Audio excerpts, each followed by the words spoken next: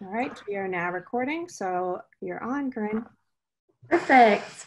Hi, everyone. Thanks so much for joining us today. I'm really excited to be here and talk to you guys about FungiShield. Um, with that, we'll get started. Um. So really quickly, um, just some field support uh, I know there are a few of you from all over. I obviously am the Hawaiian Islands rep, like Kara said. Um, but depending on where you're located, um, you can reach out to your prospective rep. Um, I know I had some people join from Florida, so that might either be Eric um, or JB, depending on who you've worked with or um, who you can reach out to. Um, this map is on our website as well as all their contact info, so you can get all that information there uh, a quick overview of what we're going to talk about today. Uh, I'm going to quickly dive into some ArborJet background um, for those of you who may not know. Uh, I'm going to talk specifics on what FungiShield is, as well as go into the details of what mold, mildew, fungus, and algae is and the differences between those. Um, I'm going to show you guys some good application locations where this product might work. Besides some good places to apply the product, I'll also be talking about the application method of the product, as well as I'm going to let Rick Irwin from Ecologel talk about the research and um, some of the testing that's been done in the past. I'll show you guys I'll show you guys some before and after photos from Hawaii, as well as talking about the size, application rate, and investment with the product. So good, right? Okay. Um, so ArborJet, just to dive into the background of ArborJet, um, ArborJet was established in 2000. Um, it's a privately held company. So um, this year, 2020, is our 20th anniversary, which is pretty exciting. You can see on the left there our little logo for that. Um, in 2018, we acquired controlling interest of Ecologel and BioPro. Um, and so this product, FungiShield, is actually falls underneath of that, um, uh, underneath of Ecologel's products. Um, we support a broad range of professional markets, um, anywhere from nurseries to golf to resort to retails. I'm sure some of you know and have seen. We design, develop, and manufacture our own products. Um, and we're always working to have the next best, best thing on the market, always looking to improve what we're doing. Um, we are very committed to being environmental responsibility, and we have high engineered products that cover everything from soil to crown and everything in between. So, with that, give me a second to minimize this. Here we go. Okay, so diving into the actual product and why everyone came to this presentation. FungiShield, what is it? Uh, it is a effective long-term clear protective barrier against the adhesion of mold, mildew, fungus, and algae.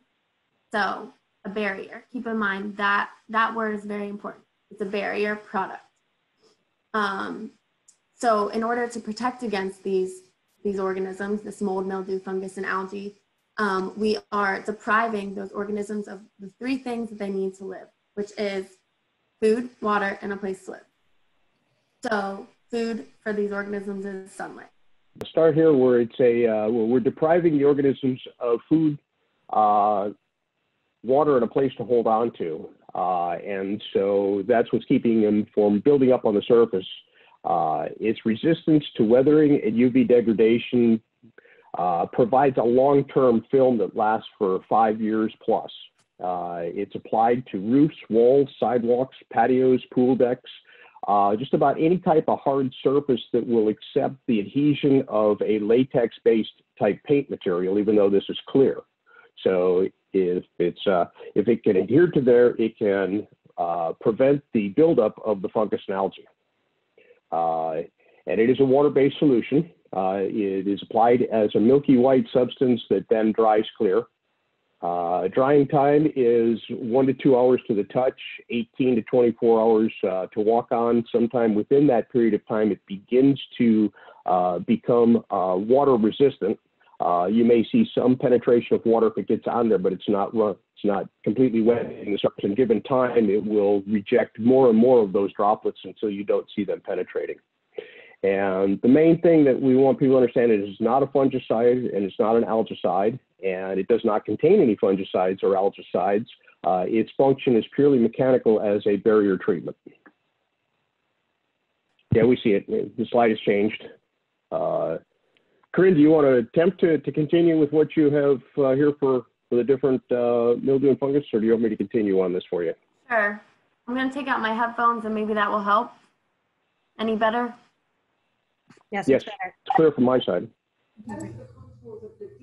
So I'm going to talk about the difference between these things that we say Fungus Shield um, protects against. So I'm actually going to start with my third bullet point here. Fungus, it describes any of these three things. So fungus, mold, mildew, algae are fungus. Um, any of these spore producing organisms that feed on that organic matter. Mold itself, you tend to see in those damp, poorly ventilated conditions typically black. It can come in many colors, but you see it black. So if you look on that picture on the right under that windowsill, you see that black kind of forming on the siding of that house. Mildew, um, when you typically think of mildew in this field, you, you think of maybe powdery mildew, something that shows up on a plant. However, because Shield is not used on plants, um, you can also find it in areas like, you know, deck or your patio furniture, um, you can see it grows in a flat pattern. Um, the picture on the right hand side of that white kind of line um, is a picture from someone's deck. Um, like I said, fungus describes all of these things.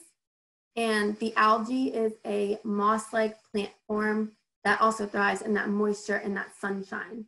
So you know, you've all seen that kind of green stuff, slippery, that forms on these surfaces.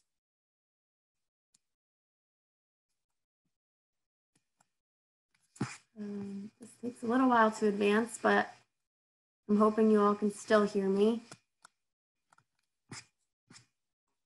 I really apologize for the technical difficulties I'm having.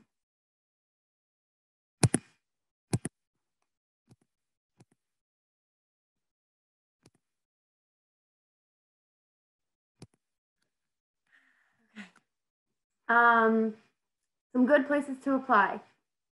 So on the left-hand picture, this is a picture of a bench in a greenhouse. Um, you get that buildup of that algae, that, that fungus on maybe your tables um, because you're constantly going from um, wet to dry and it has that perfect condition for that substance to grow. Another place, center picture that might be applicable to a few of you are sports fields. Um, I should say sports um, concrete hard surfaces. So this is a tennis court, you know, maybe basketball courts where you're constantly having to power wash and prevent those areas from getting slippery. Um, on the right hand side, you can see this is another picture under a windowsill or a siding. Um, this is a, a, big thing for Hawaii specifically, um, but we tend to have a lot of those air conditioning units in the windows. And with that, you get a lot of that moisture and dripping on the outside of that. So you have that buildup there. Okay, another pictures, which maybe is a big thing for all of you. I know my parents just did their um, sidewalks outside their house, um, but that is one area that tends to um, get this buildup on it. And you can see on the left-hand picture, somebody's, you know, in the process of starting that power washing technique to get all that algae and fungus off of that surface. So these are just a few examples. I'm sure you guys already have things kind of running in your mind of where this product might be applicable to, to you guys, but that's some examples of that. In terms of the application method, um, this product can be brushed on, uh, rolled on, or sprayed on. And you can see in the left-hand picture there, um, he is spraying that product on. Um, a gallon of this product typically covers 200 to 300 square feet. Um, and that might change depending on some factors like how um, porous your surface is. You know, if you have a really smooth surface, you might be able to get that full 300 square feet of coverage. But if something's a little bit more porous and you need more um, coat coating on that area to get a full covered area, then that might be back down to maybe the 200. So it kind of depends on the surface you're on. Um, in terms of run streaks, and excess material, in order to not have it dry with the white staining and have it to dry clear, you want to follow up your initial application typically with that brush. So if you can see in this picture, he's, he's spraying the product on, but you can see the areas where some spots are heavier than others. So maybe in a circumstance like this, it would be better to follow up with that brush. That way he gets that even monolithic coating of the product.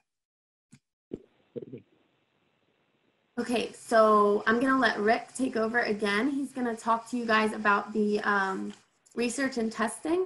Um, and like I said, although we only um, purchased controlling interests of Ecologel in 2018, this product has been with them for years. And there has been research and trials done um, for many years. And, and Rick's gonna go into those, those details. So Rick, it's all you and as Corinne said, that there was years of research and development in this product that were done uh, first by a chemist in Australia who developed the product. Uh, he was known uh, for his worldwide development of anti-graffiti coatings for buildings, and he was able to keep paint, lipstick, magic marker, and things like that from sticking to building surfaces. So he looked at the way he had created that product and uh, was able to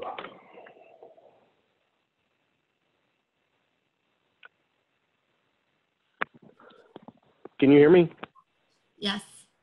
I lost the connection there. Um, he was able to take that technology and look at what algae and fungus needed to adhere to the building, and were able to modify his anti-graffiti technology to form a barrier that would protect these organisms from adhering to the surface. So we took the technology from what he had developed and brought it to the University of Florida, which was doing some other research for us on some of our other technologies. And they were having to pressure clean their sidewalks inside the greenhouse uh, at least once every three or four months.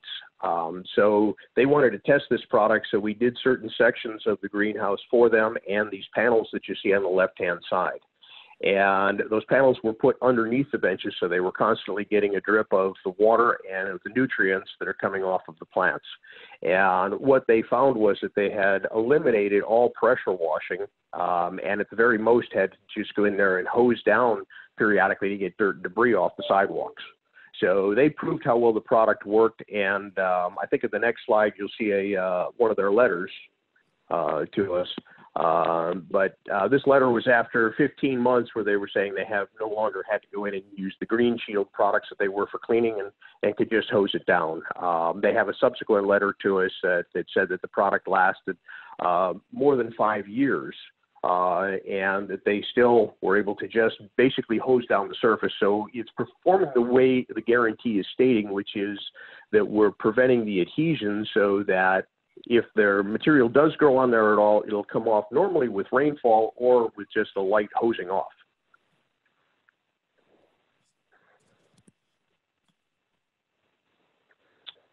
And the first slide here is uh, this in Bradenton, Florida. This was a uh, customer, uh, actually a distributor, who wanted to see if the product would function for roofs in Florida with barrel tile.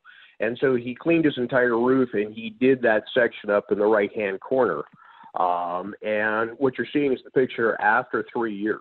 Um, uh, after three years, his wife got on him for not doing the whole roof, so he ended up cleaning the rest of the roof and, and coating everything. But he was convinced enough that the product worked to uh, put it into their line of distribution and selling it mostly in their uh, into greenhouses for uh, sidewalks, but also to contractors for roofs, walls, patios, uh, just about anything in Florida that fungus and algae grows on that's a hard surface. Um, this was another roof trial where these roofs were uh, cleaned completely and then just certain areas uh, tried. We did basically treated the bottom section of these roofs, not the top, because we wanted to see how the algae came down over it to see whether or not it would grab a hold of those areas and begin to grow. Uh, and as you can see, that that area stayed completely clean um, after two and a half years. Now, these were some of the first test panels that were used by the chemist uh, in Australia. He actually took these into the jungles of New Guinea, which are known to have some of the, the worst uh, or the best areas to grow fungus and algae. And um, the panels were treated from uh, wood to concrete to painted materials, except the uh, panel number three over from the left to the right, which was left untreated and uh, you can see how well it grows there. So it allowed him to know how well this product was functioning before we took it out to market. All right, thank you, Rick.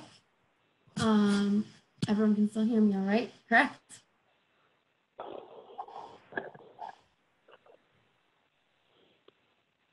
Not muted, so hopefully.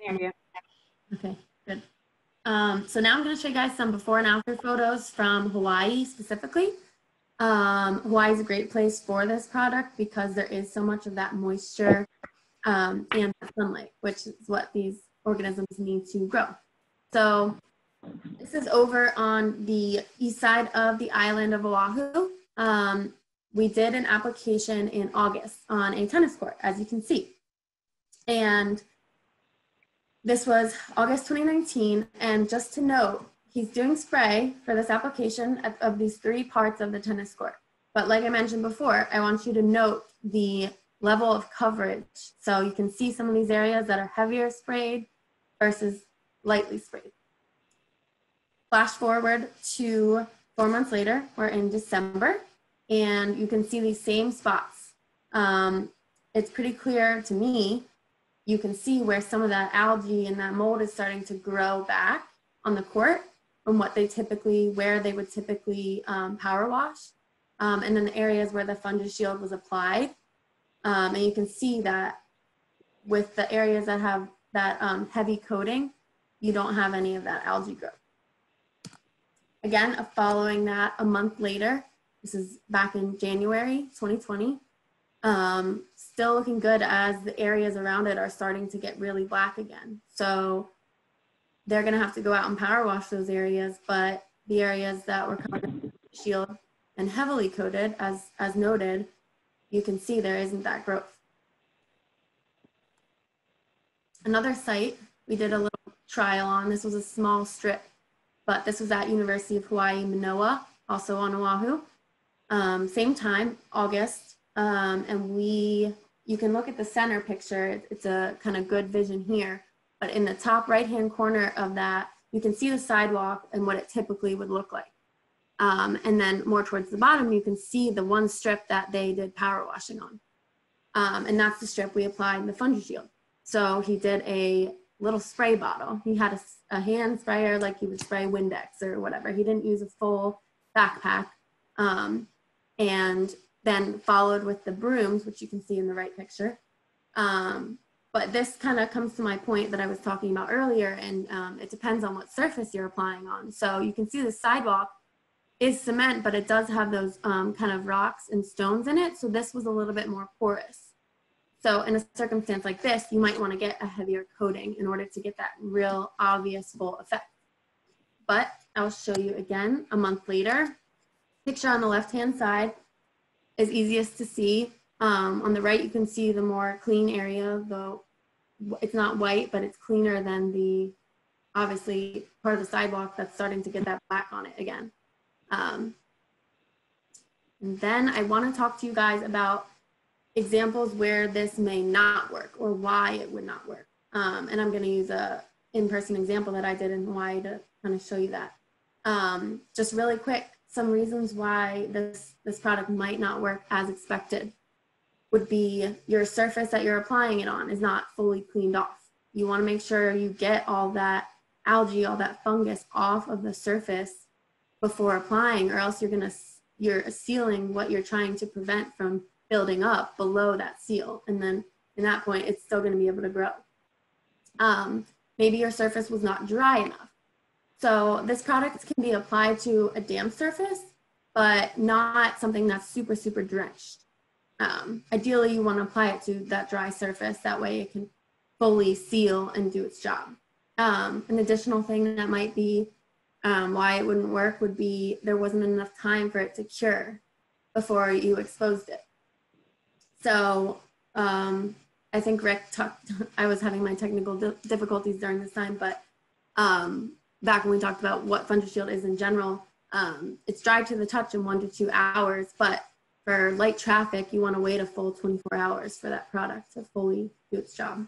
Um, and then another reason it might not work is it's under constant water, never stopping, never holding up, which applies to this pic- these pictures I have here. So in Hawaii, obviously there are a lot of beaches, and with that come a lot of shower pads by the beach, you know, rinse your feet off.